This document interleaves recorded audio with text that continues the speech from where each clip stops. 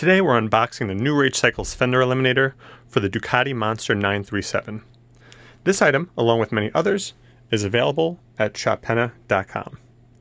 A link to the item and the part number is below in the description. Sometimes, but not always, you'll find the part number and the barcode on the front of the box right here. Let's open it up and take a look inside.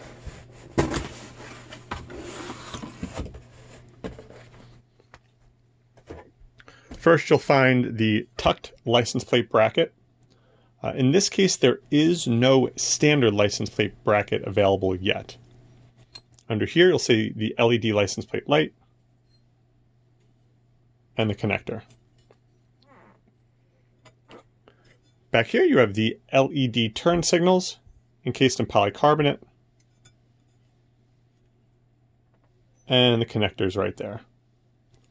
Now, all the brackets and metal in this kit is aluminum with a textured black powder coat finish. Last but not least, you'll find your bag of hardware and a card with a link to installation instructions if needed.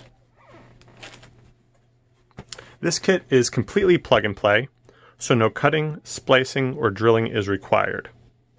If you have any questions, contact us or drop a comment below.